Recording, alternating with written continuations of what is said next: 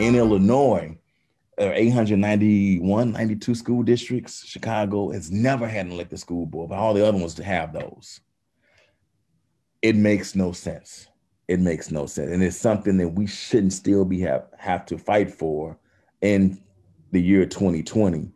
It's, it seemed like it's a no-brainer that, you know, we it, we just we should have it like everyone else, uh, like Centralia, Illinois, Shiloh, uh, Danville, you know, my home city, East St. Louis, uh, Decatur, Springfield, all these other cities in this Rockford, in the state of Illinois, have the opportunity to elect the people who are going to help make the decisions for their school district, except for Chicago. Now, many of us have had a lot of different um, um, instances, campaigns, fights around school closures. And you know, uh, in the mid 2000s, we were fighting against school closures. So it was like, we need voice, we need voice.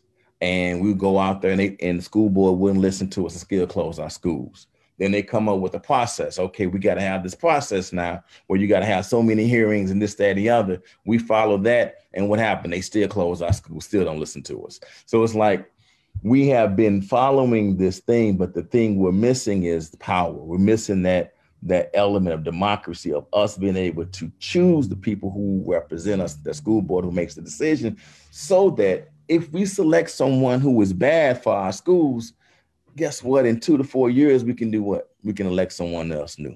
But right now, we don't have that power. Our, our school board right now is beholden to the people that give them their position, and that's the mayor. And so we're saying that we've had countless referendums, countless.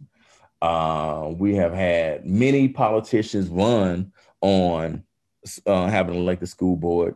We've passed it in the House a couple of times. We passed it in the Senate once or twice and yet and still it's still 2020 and we don't have an elected school board so that's why we're here tonight so i do want to make sure just a little bit of background but also just remind some of us all the issues we have with the schools you know if it's remote learning if it's going back to school if it's having cops in school if it's school closures in the past whatever it is all of those decisions fall back on the school board and our inability to be able to select those who represent us and who raise our taxes on this thing. We've even filed lawsuits, um, um, Title VI complaints, you know, civil rights lawsuits around elected school board, and we still don't have elected school board. So, with that, we're going to bring up State Senator Robert Martwick to talk to us one about the bill we do have, uh, HB 2267, and where it's at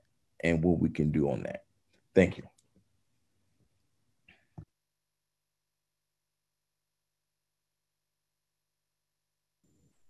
There we go. Just had to unmute myself. Uh, thank you so much, Rod. Can you everybody hear me? Can I get it? There we go. Thumbs up. Okay, good. I see Jitu nodding over there. Um, and uh, so thank you everyone for allowing me to be here and to join you again today. Um, it's always an honor to be with you, um, especially those of you who have been in this fight a lot longer than I have. Um, it has been an honor to carry your legislation and to fight for it in the General Assembly. Um, uh, Rod, as you mentioned, this bill, uh, in the form that it's in, um, almost almost entirely in the form that is in, has passed the House of Representatives three times. Three times, I think. Kurt will correct me if I'm wrong on that. Maybe a fourth time. Um, and it passed the Senate once, but never at the same time.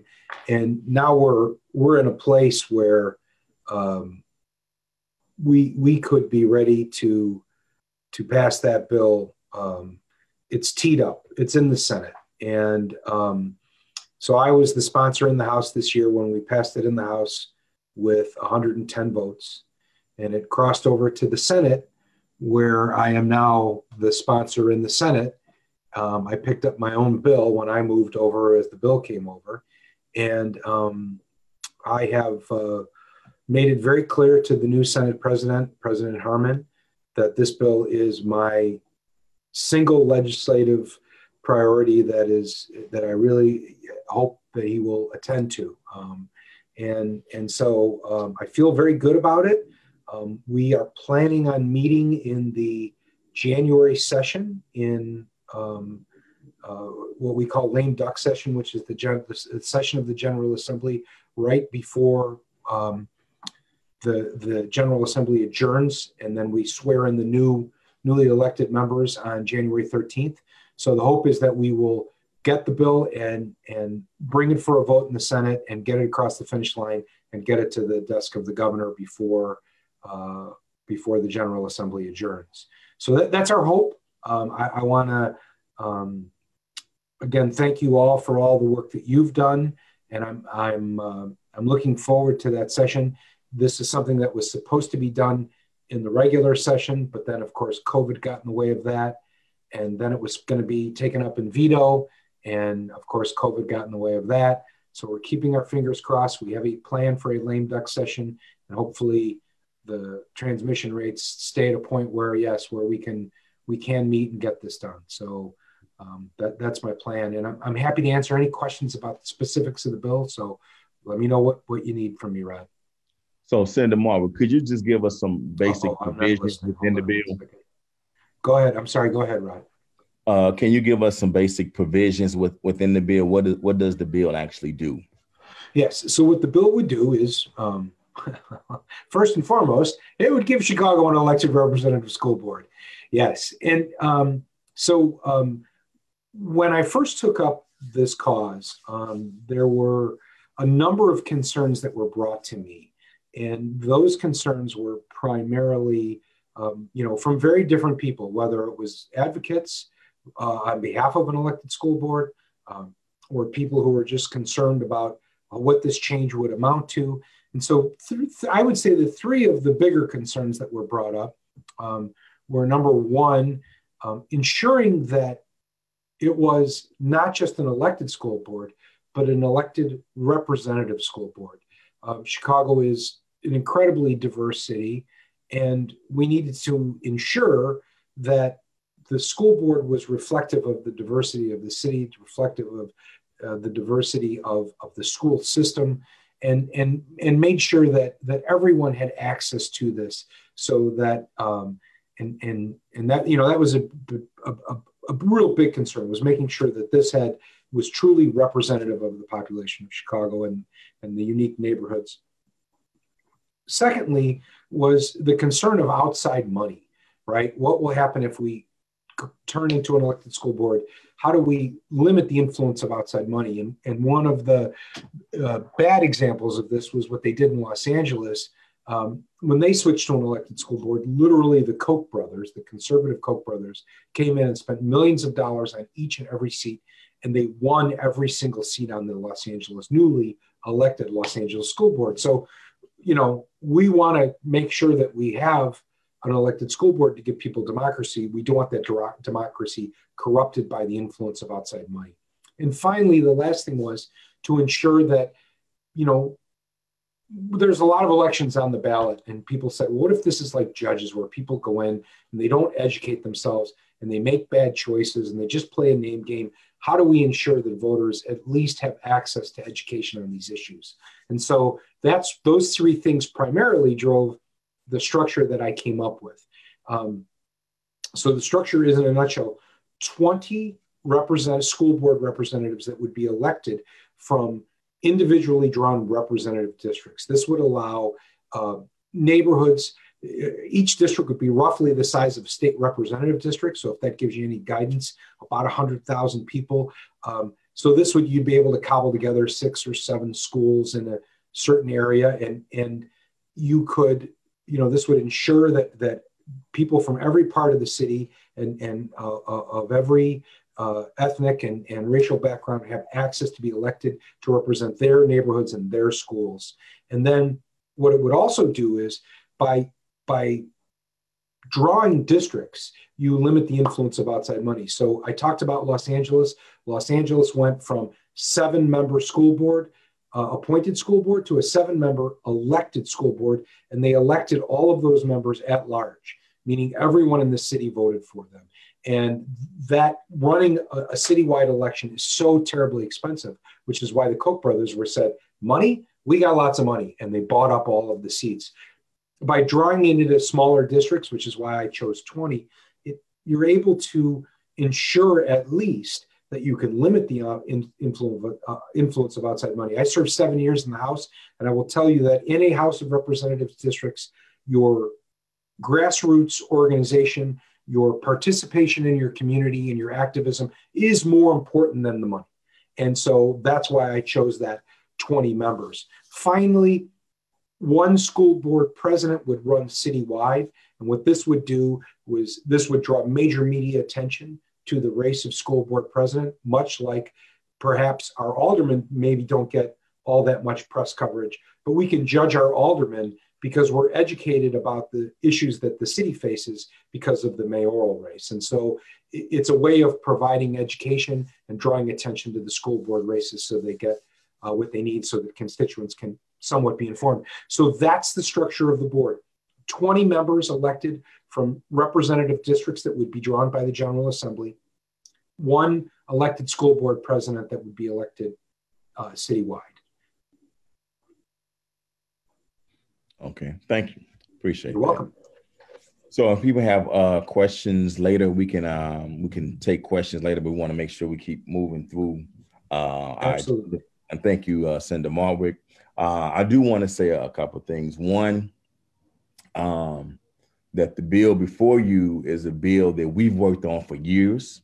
Um, the first iteration of that was around 2011, 20. I, I know Jitu is going to go more into more of the history, but I just want to make sure if someone says, well, that's Marwick's bill, that's not Marwick's bill. That's a bill we've been working on for a long time. And we put a lot of sweat equity in this. So we can't have, let no one else say it, it's not ours. You know, we put a lot of work into this and we this is something we've been fighting for. And we will say this: it ain't perfect. It ain't perfect, and there is no panacea to you know just correcting our schools. But this does empower us to have more control of our schools. So it, it again, it ain't gonna you know you know be a magic wand, but it does give us more say. It does give us some decision making about who represents us and who makes those decisions for us. And I think that's what we're fighting for that democracy. So I uh, just want to make those points because you know, because some people may say, well, you know, Marwick, you know, this is his bill, and why should we? No, this ain't about Marwick. This ain't about no no offense now. You you done you done my Yeaman's job on you know getting it out the house and everything. So I'm not taking anything from you. Don't get me wrong, but this is about the folks who you know in 2012 ran those uh those referendums at first when it was very unpopular. You know, and again in 2015 and 16, knocking on doors. This is about those people who in in, in our neighborhoods who, who who fought for this. So on on that note, I want to bring up Mr. Jitu Brown, um, Journey for Justice um, Alliance Director, um, one of the greatest MCs I've ever known. Um, my teacher in local school council work, like the school board work, and just how to work with youth in general. My brother, Mr. Jitu Brown.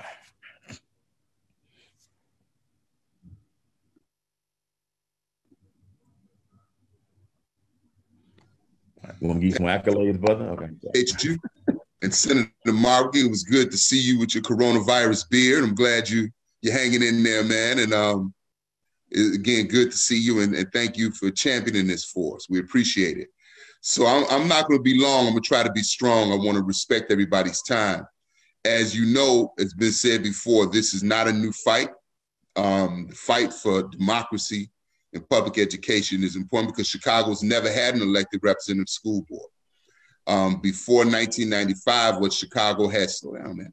What Chicago had before 1995 was um, a trustee system where aldermen got to make recommendations to the school, to uh, to the mayor, and then they appointed school board members that way. Uh, they picked from a poll that came from different aldermen. That still was not democracy. And as we know, Chicago was still highly inequitable. Um, when I was in first grade, I actually went to school in the Willis wagons. So the history of, of racism and segregation in Chicago public schools is uh, has a long legacy. and for anybody that's on the line that may be part of local school councils, it's important to understand uh, me and Rod have a long history with LSCs. Um, I've been a trainer of local school council since 1999. I sat on Dyett High School's local school council for 10 years.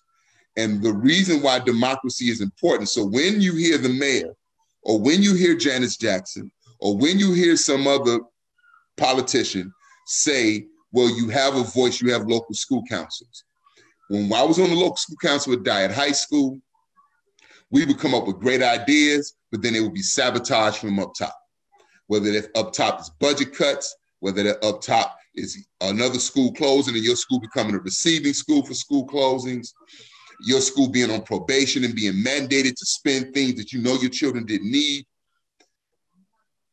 Democracy has to flow. There can't be a, a place where democracy is cut off by bureaucracy.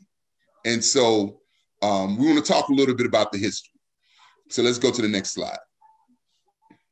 So we understand, as Rod said earlier, that Chicago is the only city in the state of Illinois out of 100 uh, out of 892 school boards with no elected school board. I want to say this real quick. Um, and we know that most school, there are a lot of major school districts uh, that have elected school boards. That we started to see the expansion of um, mayoral control and state takeovers as the demand from the federal government and from the privatization movement to close schools, expand charters began to grow. They had to get rid of any type of resistance to that particular agenda. And so that's how we've seen appointed school boards grow. That not having an elected school board and it having, having it be so race based, in other words, the only cities that have appointed school boards or state takeovers, with the exception of Montclair, New Jersey.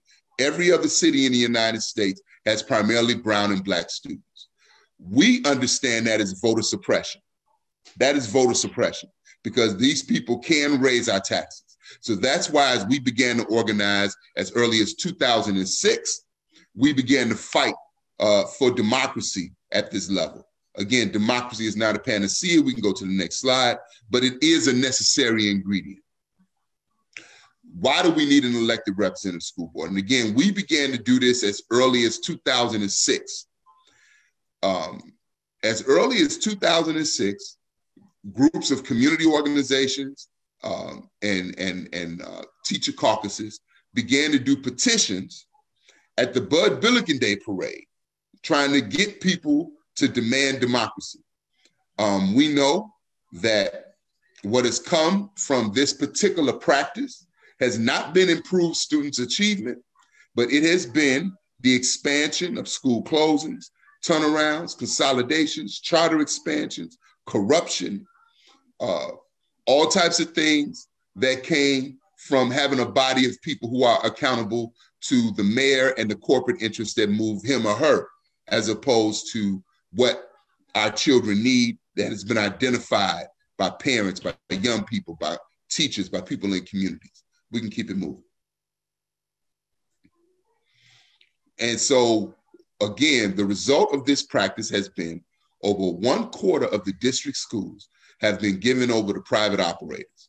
And we know that since 2002, only 18% of the schools, I'm gonna try to hit this, since 2002, only 18% of the schools that have replaced school, uh, closed schools perform well. And out of that 18%, half of those are selected enrollment. Try to hear me. So they batting less than 20%. So if you were a quarterback and you only completed one out of five of your passes, would you keep your job? If you were a baseball player and you only got a hit once every five times at bat, would you stay in the lineup? But this particular approach to education for brown and black children is okay when they're only batting a, a, a less than 20%. Um, and having an unelected school board creates conditions like this. How many of you all have been to school board meetings and had parents pleading, young people pleading with the school board to say, please don't close my school? Young people drawing pictures and, and, and, trying to convince a body of people who aren't even listening to them that our school is not a failed school. Our school, we're doing this, we have relationships, and time after time after time after time, the result is to ignore those voices and to move an agenda where they did there really didn't need to be a hearing in the first place because the agenda was already set. So unelected school boards routinely ignore the will of students, teachers, and parents. Let's keep it moving. So Chicago was the second big city in the United States to go after mayoral control. Again, mayoral control says that the mayor appoints the school board and appoints the superintendent. And in most cases, that superintendent becomes a CEO, which means that superintendent does not have to be qualified they don't have to be more qualified than the principal in order to be the chief education leader in, in the particular school district. So the first place to have mayoral control was uh, Boston, Massachusetts, and then Chicago was second.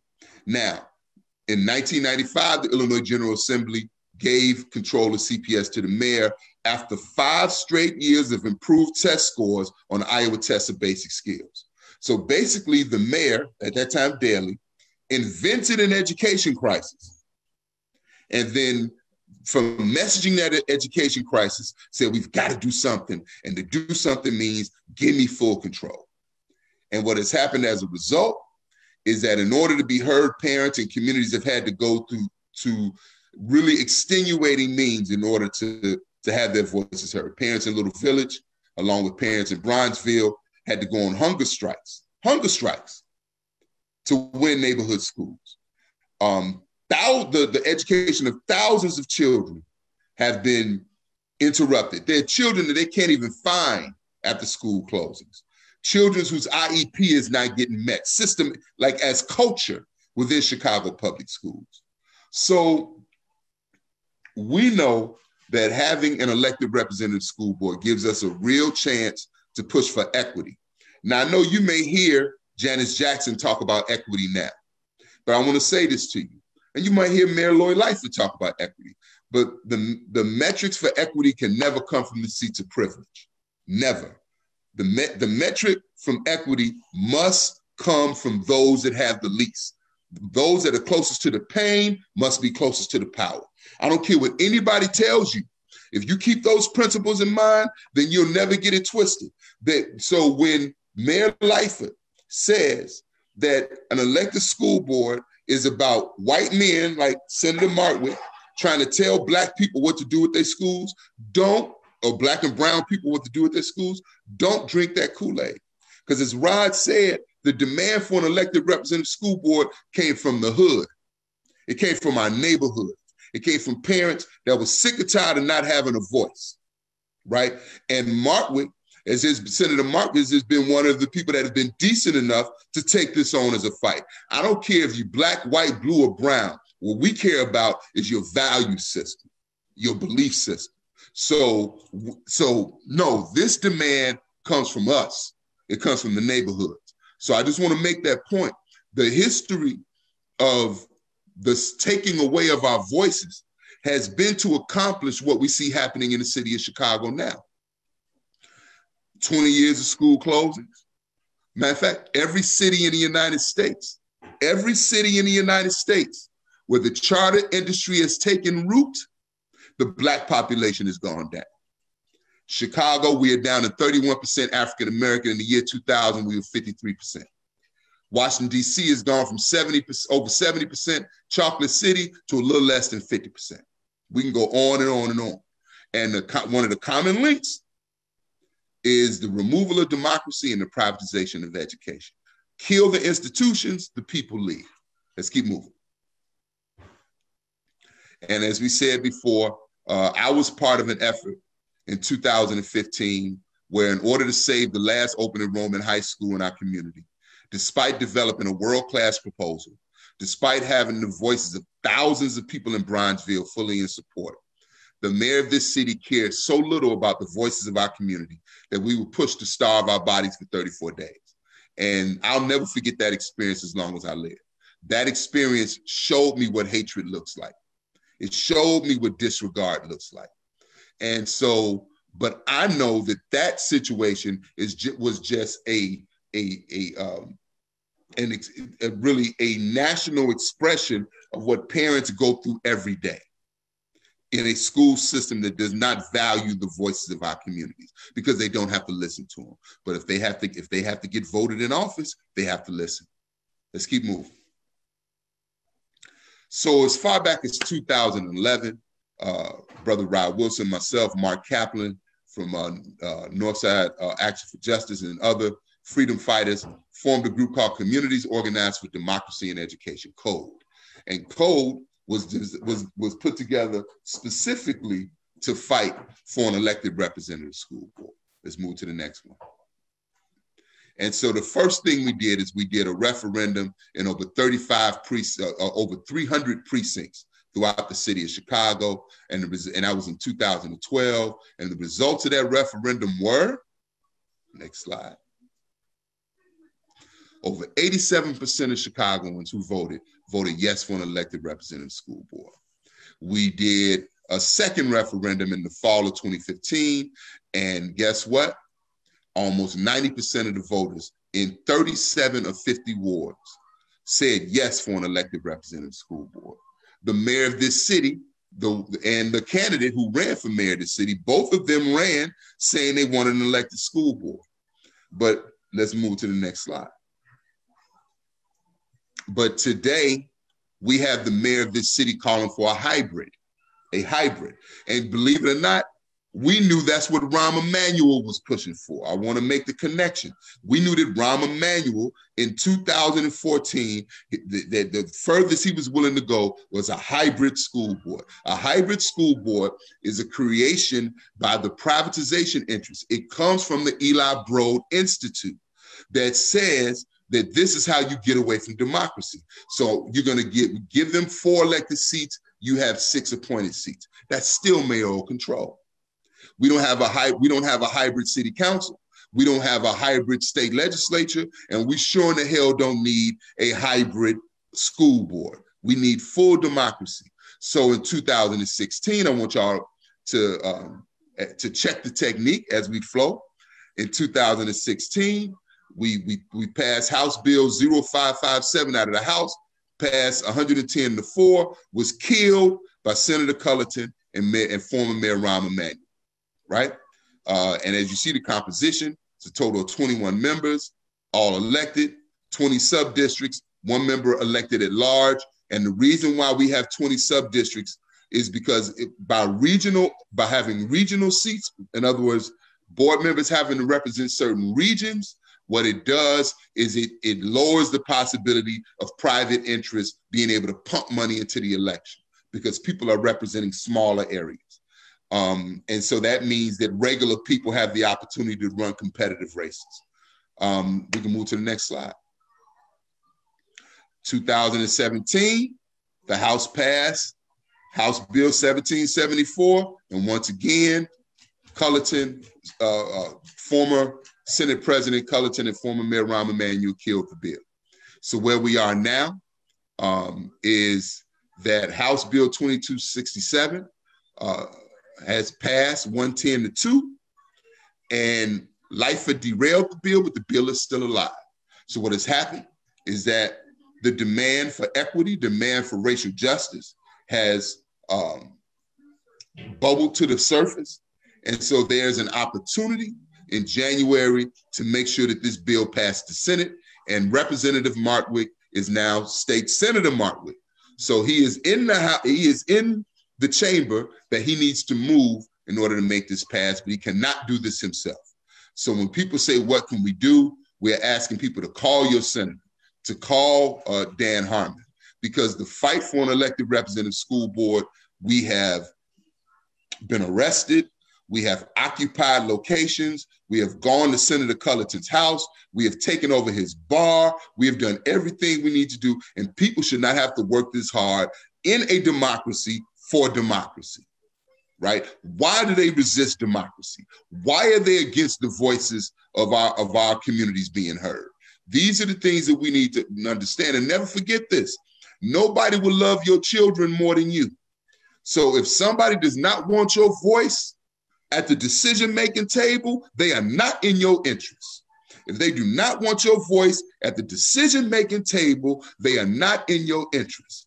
And we're gonna do a little street talking right now. We, you know, back in the day when when I used to go to Maxwell Street, they had hustlers back in the day, and the hustlers would have they open their jacket, and inside their jacket they have watches and gold chains and all this other stuff. And I remember one guy got me because he had this big, thick gold chain. And so he told me that he had just stole this from Marshall Fields. I was only like 13 years old. He said he stole this from Marshall Fields. So I go and I buy the chain. And of course, in two days, the chain turns green. What he did is the same thing as what people who are against an elected school board is going to do. They're going to talk blase, blase. And I want y'all to let that settle. Blase, blase. Blase, blase just means a whole bunch of talking and not saying nothing. At the end of the day, if somebody does not want your voice at the decision making table, they are not in your interest, especially when it's your children, especially when it's your communities. So we now have the opportunity in January 2021 for the Senate to meet for lame duck, and we have to pass House Bill 2267. So we need people to make this a priority. We need people to dig deep and fight this fight. And I want to make a quick announcement. And then I, I, you know, I'm honored to be a part of this coalition. People will always tell you what you can't win. People told us we could not stop Mercy Hospital from closing. And the first time in history today, the Illinois Health Facilities Board voted unanimously to refuse the closure of a hospital. Community organizing works. Community organizing works. And that's what we have to understand. We have to understand that the only way we're going to get this is if we fight for it, right? We shouldn't have to fight for it, but that's how we're going to win it. So hopefully, I think that's uh that's about all I got. I told you I wouldn't be that long. I wasn't too long, was it, Brother Rod? Nah, but that's right on point, but right on point. Right on point. Gratitude. All right. So with that, um, so Jitu gave us a new word, and that was a hybrid board. So beware of that. So when, because let's back up, Mayor Lightfoot ran on, Lightfoot ran on a platform of supporting like the school board, but has not said one thing about that since she's been in office. Has not pushed the you know, state legislators on this at all. Not at all. Not putting any any political capital behind it at all. And when she begins to talk about a hybrid board, note that that's a play out of Rahm Emanuel's playbook. No different.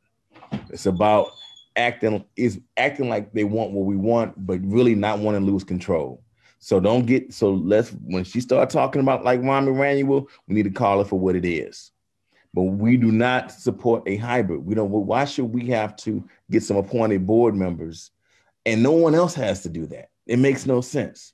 It makes no sense. So don't forget that because it's going to come up and people are going to say, you know, she's going to be saying, hey, you know, well, this is the way to keep big money out of it if I control. No, that's bull. That's bull. That's just a way for her to try to keep control of this board. And we got to call it out for what it is. Now, right now, we're the closest we've been in a while on this. All we have to do is get the Senate to vote for it. That's it. That's all we have to do. And, and and we just got to make sure we get that due process. So we're going to go into more what we need to do next. But first, we got a few people going to come up and just talk about, you know, their experiences and why we need to elect the school board. First, I'm gonna bring up a sister who's dear to my heart, who you know, every time I see her, you just, bring peace to my heart. I really do. Miss Irene Robertson from KOCO. Uh, Miss Irene, are you ready? Yes, thank you, my brother Rob. Yes, it's an honor to be here tonight. Um, um, thanks for everyone for coming out.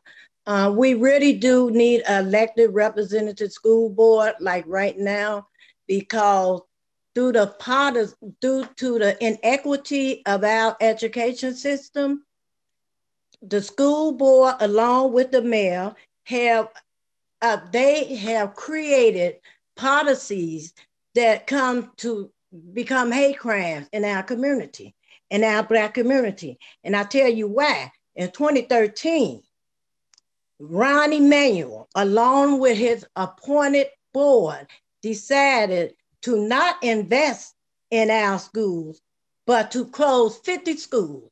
That was an attack on Black children in our community to the point where after closing those, when they closing those schools, they opened up 50 charter schools. They invested millions in other uh, private selected enrollment schools. And the only thing that they can offer us is an eviction notice. We fought the parents at Overton along with Madison. We fought. We went to those um, um, meetings. Our voices what was not heard. I have never been to jail until I start asking question is why we don't have resources at Overton anymore. Why there's no books, why there's no social worker, nothing but uh, a, a, a, get out, right? So after we lost that school, we continue to fight. But the disparate, when you close schools, you kill children dream. It's almost stopping a lifeline. They cannot, and education should do no harm to our children, but it have done many harm. And no one is accountable for what Rahm Emanuel and his appointed board did in 2013. To the point that when we, after all that, I look up, they after our last open enrollment school. Greed have no limit, no limit.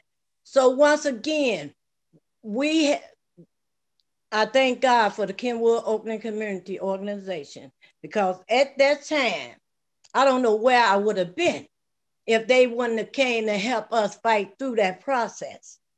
And that's where I met Brother Jitu, um, Alderman Jeanette Taylor, and everyone else. But that little group helped me to understand. And at, I have to say, Jay Travis, because she had been a champion for fighting for elected representative school board when I didn't even know how important it meant to have one. So if they sit, so once in 2015 when they closed Dyett, we had to fight. We had 13 young people in that building. Let me show you how they did our black children in that building. They were not allowed to, to use none but a small portion of that building. And they was taking Jim on land and they had been threatened to go to another school. Most of the CPS had told most of the parents at Dyett that they had to leave, put their child in somewhere else. We need someone who cares about our children, who love them, who would inspire them with information so that they could thrive and be what they want. Closing schools is a hate crime in multiple ways. It push out teachers. It's take away resources. It is take away um, program to the point where we don't have school. We have many jail cells. Our, our children is hurting from the impact of school closing, privatizing our school. That create chaos in our community and it leaves example that black lives don't matter. Now we forcing in, they closing our hospital. No, we need, they, Janice Jackson need to remove herself along with the whole appointed school board and Lori Lightfoot was at meetings when we was at. She she ran off elected representative school board, and that's what we want. And I tell all parents, these our babies. These our children. Just like Brother Jitu say, no one gonna love them like we love them.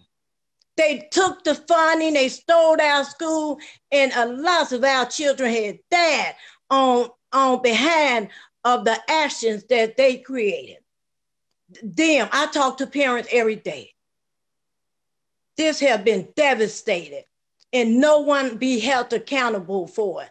Janice Jackson kids is not experiencing going to school, hers in private. They have everything. So why would they sit on that board and destroy our children but they won't destroy theirs. We need somebody on there who gonna love every child and make sure they have a world-class education and equitable school system. And that's what we need. We can, I'm like, enough is enough. And we won't take it no more. All right. Thank you, Miss Irene. I appreciate that. You know, hey, it's simple and plain. It's simple and plain. If it ain't simple, it ain't the truth. I appreciate that, sister. So next we're gonna bring up uh Miracle Boyd, a powerhouse in the city. Miss Miracle, you ready? Yes, I'm ready. There you go, sister. It's all yours. Good afternoon, everybody. It's Miracle here. I'm a KOCO Junior and youth member of youth organization Good Kids Mad City. Um, I'm here to talk about my experience with the school closing in the city of Chicago. I was a sophomore in high school attending John Hope College Prep on the south side of Chicago, one of the four Englewood schools that was set to close by Rahm Emanuel in the year of 2016 at the end of the school year. Um, um, the wonderful organization Kenwood Oakland Community um, helped all four high schools, including LSC chairs from each school, fight and um, talk to the appointed school board officials and Janice Jackson because I'm sorry, I didn't even know that I had muted myself.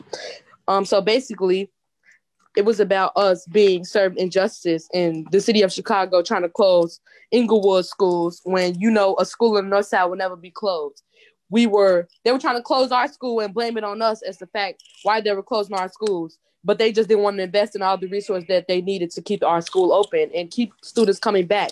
It's not our fault that the school closed. You guys made this system and the reason that kids are not coming is because it's you all's fault.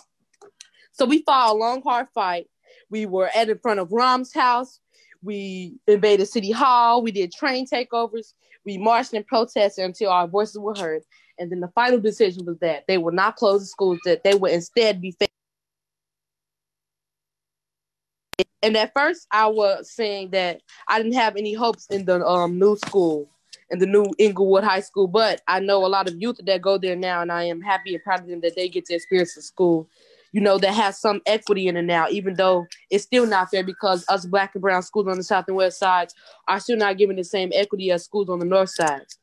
Um, we spoke with teachers. I spoke with Chip Johnson. He used to work at my high school, and to see him being on a team that is opposing to close our school, or voting to close our school, it was like a slap in the face. And just seeing them laugh at our tears and just show no emotion, it was showing that if you're an educator, I'm I'm not seeing that you really care about us black and brown youth on the south and west sides of Chicago. So I was a student that had to place face a school closing and end up being displaced but I didn't let that stop me, and I still made hope at my new school and still was successful at my new school. So that's the truth. Us black and brown students on the south and west sides are not being treated as equal as the school on the north side. And as I have said before, a school on the north side will never face a closing. They will get all the funding they need. They don't have to fight about the things they need. They don't have to talk and chant and rant to officials. They can just get it. We do. We have to beg and plead and tell them why we deserve it. And I think that's totally unfair because we don't. And we should have to be doing all this extra to prove that we worth it. And that's it. All right, Miss Miracle. Appreciate it, sister. Appreciate that. Um, next, we're going to have a um, leader of an organization that has been a powerhouse in education reform for last 20, 30 years. Um, Miss Juliet de, de Jesus Alejandre from Logan Square Neighborhood Association. Hello, everybody. Um, yeah, from LSNA, I'm a CPS graduate. Hey, a mother of three boys. Um, and today uh, I was with a group of women at LSNA. We spent the morning doing mutual aid work, um, and my heart is broken. Um, as we shared what we had, we kept hearing stories of loss of income, loss of health, um, and the devastating loss of loved ones. Um, by 11 o'clock, I had to stop and cry and just allow myself to feel the heartbreak and feel the pain.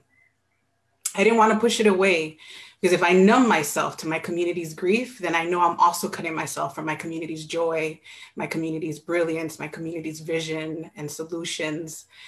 Um, and this is what it means to be a community, right? To share it all. Um, and I find I have found myself over the years wishing over and over again that the mayor and the board of education and the top brass of CPS would listen to the heartbreak and the joy of our children and our families because that's where the brilliance and the solutions come from.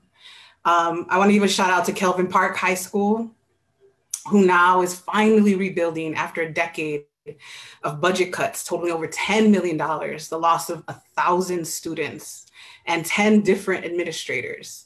A group of youth organizers starting 10 years ago, mothers, teachers, met with CPS administrators, one administration after the other. We presented a plan um, um, after meeting with community members in a church basement for weeks. And all of that loss could have been avoided if CPS had taken seriously our community plan that included the arts and restorative justice and curriculum that honored the Latino and Latina heritage of our community. And I'm happy that finally, after so many years of struggle, that Kelvyn Park High School is beginning to recover so much that has been lost. Go KP Panthers, I'm forever, forever cheering for you. So this summer, um, a group of our youth leaders and our parent mentors um, wrote the a, a, plan for remote learning, reimagine remote learning. Um, these leaders spoke, they speak to hundreds of, of families and young people, right, every week, because we're also working on affordable housing and immigrant rights and reimagining public safety.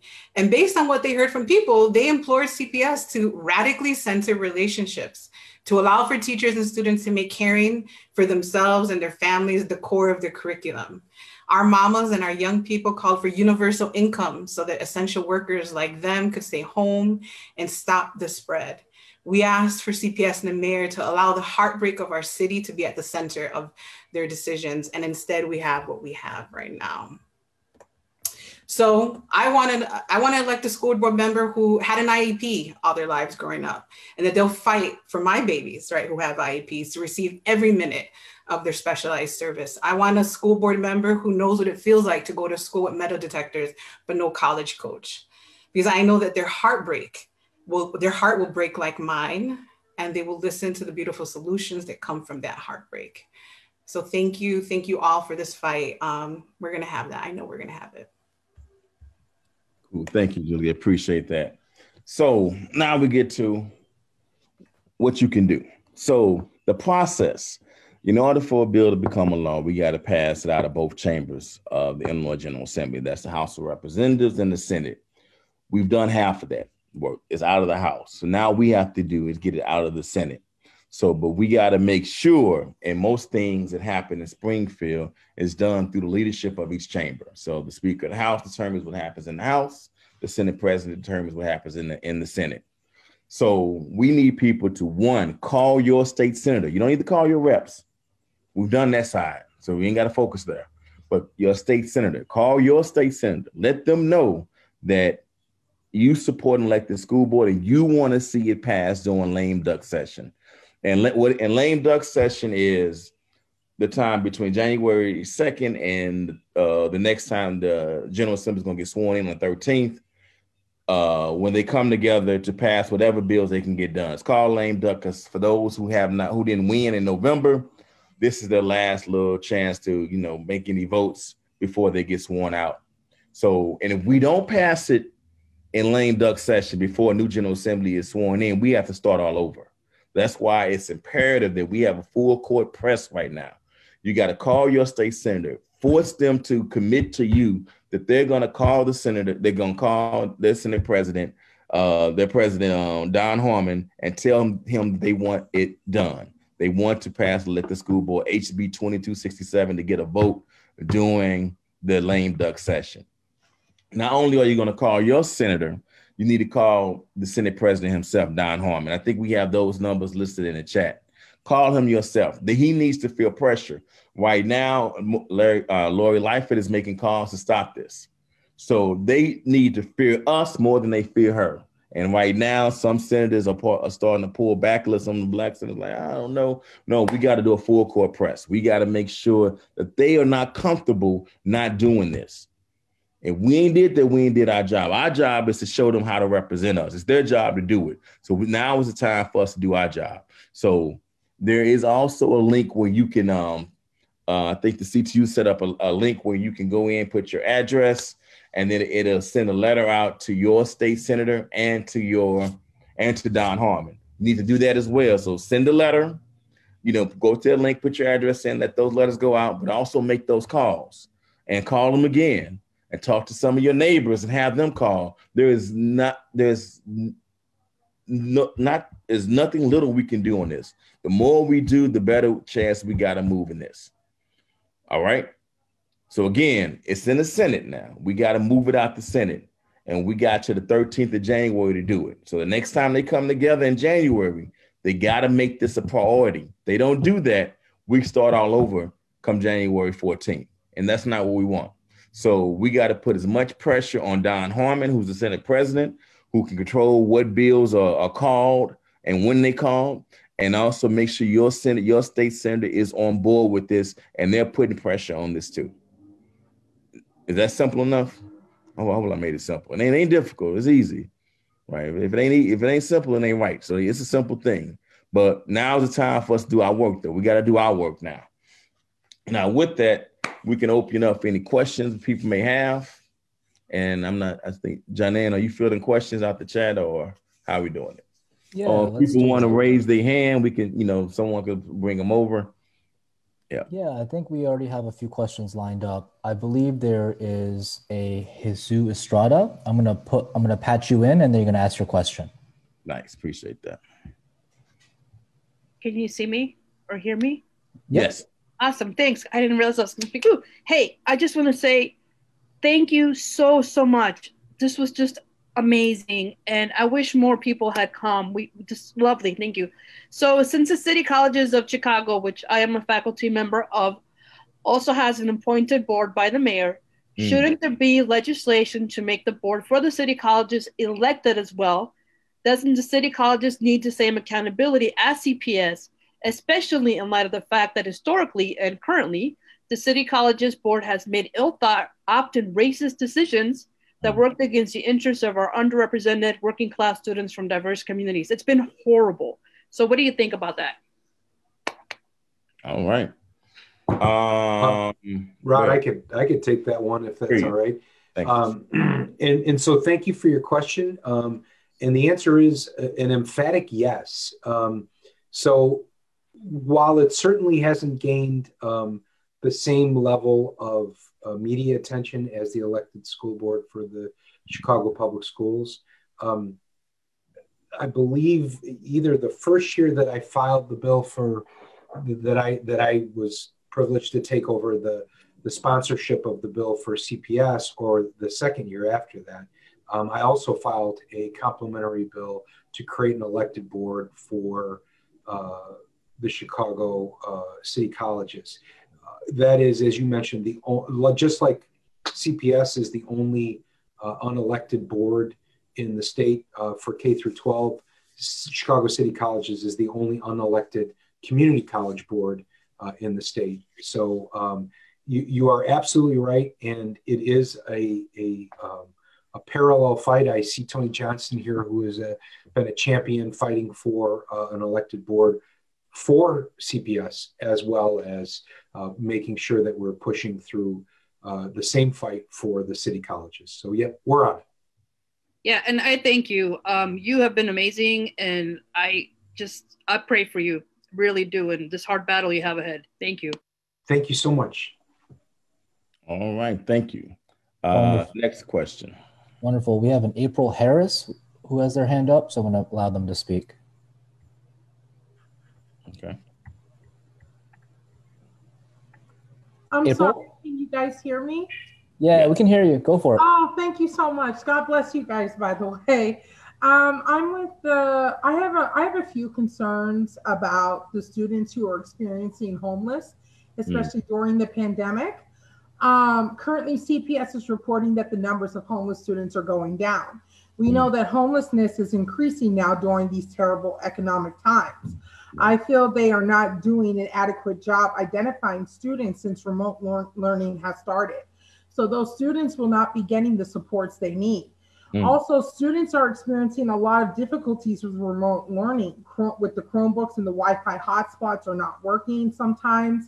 Mm. It is hmm. already really difficult to learn when you are in a shelter or doubled up, um, and this makes it harder. CPS should have been.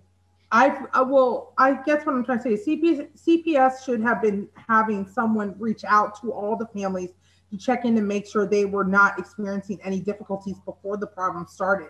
This would have been the right thing to do. I feel with the money, and I also feel with the money that the schools are spending on police, uh, on police in schools, I think it was over like thirty million dollars. They could be buying brand new Chromebooks and tablets for students to use. The school, and also the school board right now, it it, it, irritates me because my I have two kids that are in CPS schools and my one child has an IEP. Mm. And I remember I had to go in front of the school board when I first moved here in 2014 for safety reasons from another state. And the school board told me, we can't give your son the IEP that you want because of his temper tantrums. And I stormed in there and I wasn't belligerent, but I basically showed him, I gave him a stack of paperwork on his temper tantrums. And um, I basically told him, my son needs help and I'm not going to have him fall through the cracks. And I fought for my son's IEP, and I finally got the IEP that I wanted for my son. And I feel that the school board is made up of people who have no educational background.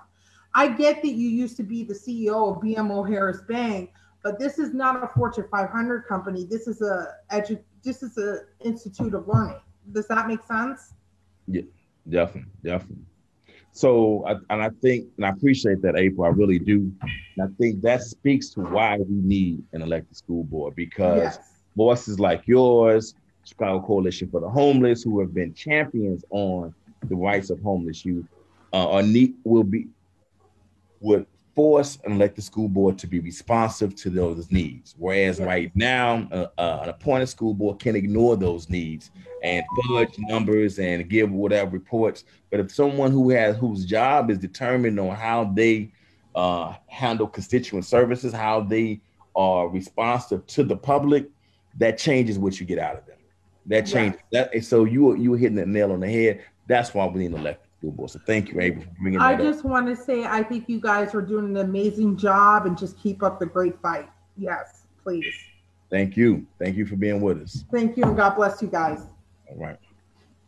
Who else? Who else we got next? Thank you, April. We had a, a question in the chat from Miss Bobby Brown. Let me put. I'll recopy it again, which is, I would like to ask the mayor. She said she supported an elected school board, but then she helped derail it what is she going to do now and how do we hold her accountable? And then i'm going to call on uh, sal after. And i think um we're saying what we have to do now. I mean the mayor the mayor is like any other you know person who and i said just a politician who said what she had to say to get in office and now we can see what is she doing.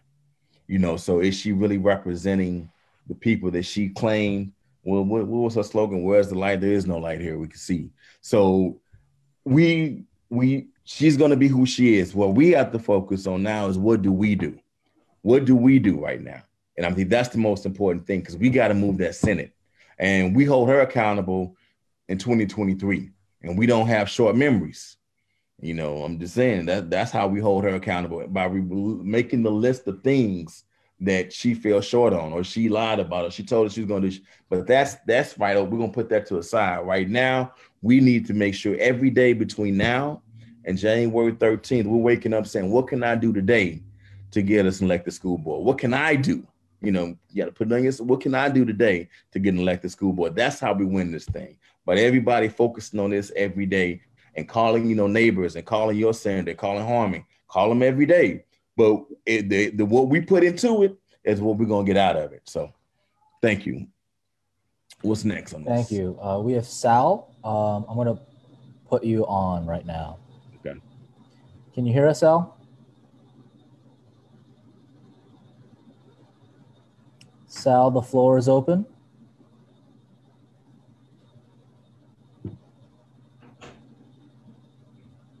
Okay, we'll come back to Sal. We have Tom Tresser. The floor is open, Tom. Good evening, brothers and sisters. Uh, the Civic Lab is small, but we stand with you in your fight, in our fight for an elected school board. We want to suggest a possible connection to our campaign to abolish tax increment financing. Remember, TIFs stand for taking it from schools. And this is one of the tools that the system has used to bleed the black and brown communities over the decades. Right now, there's one and a half billion dollars of property taxes sitting in the TIF accounts. We call for that money to be released immediately for pressing needs in the black and brown communities that are suffering so much from COVID and other ills. But this is, if you do this, you'll hit the mayor and her allies where it hurts in the pocketbook. This is our money. It should be, it should be used for the communities, not to uh, destroy them. So um, we just put it out there and we're happy to, to uh, help in any way we can. Great. Thank you, Tom. Um, thank you. And thank you for the work that you're doing at the Civic Lab on, you know, really helping folks understand the budget, how they're that Chicago isn't really broke, and um, making sure that folks understand TIFs and how they work and how, yeah, how every time your taxes are raised, that money that would normally go to those school district parks and all that don't go there, it goes into a pot. And so, right, that is how our schools, especially in low income areas, are being drained, and we're not seeing the development that's supposed to that's supposed to be promised from that. So, thank you. Who's next? Sal, the floor is open if you're back on. Sal Etanello. Hey, Sal, can you hear us? All right. Looks like we're having a few more technical issues with Sal. Um, Jeff Jenkins is up. Okay. Jeff, the floor is open. Great, thanks, Shannon. Um, this is a, a, question for Senator Martwick. Uh, first of all, I appreciate your commitment to the uh, elected school board bill. I think you're genuine in your actions, clearly. Um, uh, I've been in this fight for over a decade now, and I have to say, I, I don't believe that most of our Democratic uh, elected officials, uh, particularly in Springfield, are genuine. I think they do just enough to secure our votes and very little when it comes to actually getting a, a bill passed. The reality is, we have super majorities. When I say we, I mean the Democrats. You guys passed the cannabis bill in 48 hours wearing masks. You, uh, uh, excuse me, a casino bill in Chicago. Casino you bill. passed a, a, cannabis bill. Um, there's been a windfall for the politically connected. Um, if if you guys want to pass an elected school board bill, you have the votes. You have a super majority. And the reality is nothing no, nothing is, is called. A bill is not called in session in Springfield, particularly lame duck session, without the votes already being counted.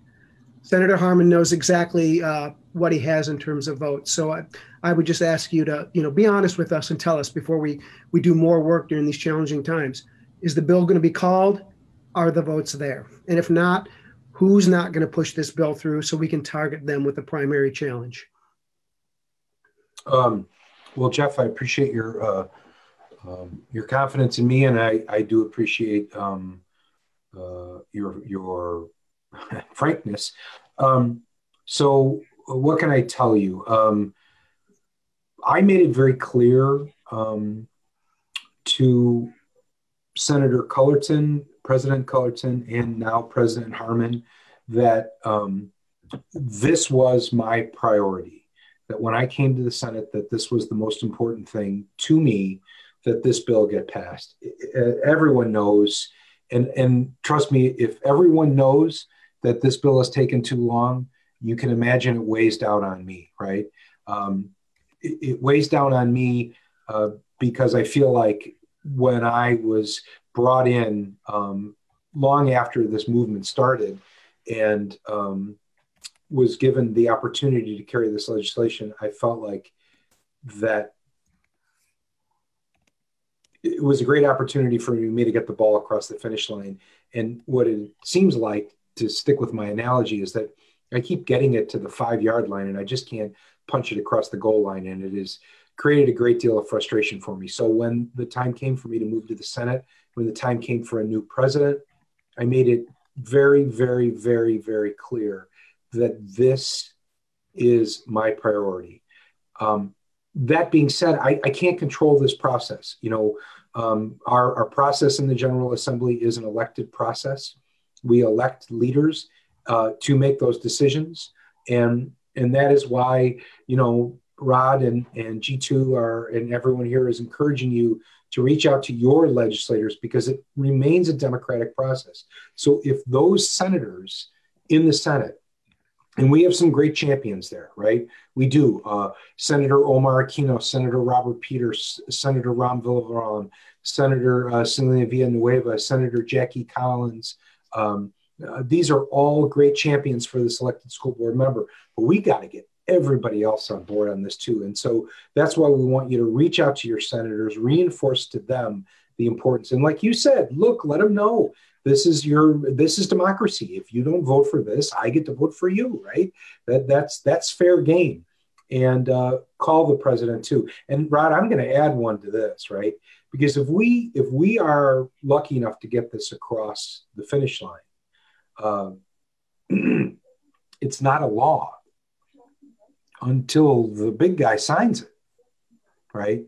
So, um, since we're dealing with a very short runway, I'm going to encourage everyone here to reach out to your senators, to reach out to President Harmon. And I assure you, I, I talk to him all the time. And every time I talk to him, I remind him, Don, remember, this is my number one priority. Um, but let's reach out to the governor because if we can get this bill through the Senate, we need him to be waiting with the pen in his hand ready to sign. Okay. So, um, so Jeff, thank you. I don't know if that answers your question uh, sufficiently. Like I said, I, I, I, can't control what my leadership does, um, but I do believe that they they hear me, and I think that they will hear you. And I, I think that if we can get together in Springfield, I think this bill will go up on the board for a vote. And I think then, if we've done our work, it will pass. Thanks, Senator Martwick, and thanks, Jeff, for your for your call um, for your question. Um, again, we wanted this. We didn't want this to be a long um, uh, town hall. We wanted to make sure we came in, hit it, went, went through it. Um, but to Jeff's point, we need to get that roll call together. This is this is part of us getting together by us calling our state senators and telling them how we want them to represent us, and them committing to that. And also in getting and lining up those votes, if we could move Harmon to support this, that lines up some of those senators as well. So it's it's we're working both angles here. And so yeah, so but but again, I challenge everybody from now to January 13th, every day you wake up, ask yourself, what can I do today to make sure we get an elected school board in Chicago? And so if we all are doing that, I think we'll get we'll get this ball across the finish line. Um, with that, I want to thank everyone, thank all our speakers, thank all the participants. Um, remember, there's a, uh, the link to you can go in and t- uh, type your address in and send a letter out. Make sure you, uh, you're calling your state senator. Call him several times, him or her several times, and call Harmon several times. There's there's not too little you can do, you know, and there's never too much you can do. So keep keep keep at it. Um, and I want to just thank everybody. So and be, and be on the lookout too as well for the next things that we have going on. Because again, like Jitu said, we got to fight and organize, and we have to fight for what we want. So there may be some direct actions we may start doing or whatever, just again to make sure we get this thing done. We can't take anything off the table at this point uh, unless we want to concede defeat, and that, and that's not who we are, and that's not what we want. All right. That's right. So with that, thank you. All. Thanks, Senator Mark. Yeah, if I could just say, I just want to say a thank you um, thank you. Uh, I've seen a bunch of people popping up here, and I know how much so many people have done. I see Eric Clark on here with uh, Parents for Teachers. Um, I saw Mark on here. I see. Um, I'm just looking around. I know there's some some folks from Raise Your Hand are here. Uh, mm. I don't know if anybody from uh, Brighton Park is here. Um, I know uh, uh, LSNA is here, and all of these coalitions of, of, of, organizations that have fought so hard uh, for this issue for so many years. Um, it, has been such a pleasure to work with you and to work for you. And I assure you, it is it is my mission to get this bill passed. I'm doing everything I can, but it, it is because of the great leadership of these people, not the least of which, of course, I saved the best for last. Rod and Jitu, the work that you guys have put into this, the leadership that you've shown, the organizing, getting people fired up, and, and making them understand the importance of this issue is what's put me in a position to be the guy to carry this bill to its finish. And, and I, I, I that, that, that's not lost on me. So thank you for everything you've done. And thank you for the opportunity to come join you here tonight. All right. Thank you all, and be on the lookout. Make sure you get those letters in. Call your state senator, and every day, what can I do to make sure we get an elected school board in Chicago. All right. Thank you all. Have enjoy the rest of your evening.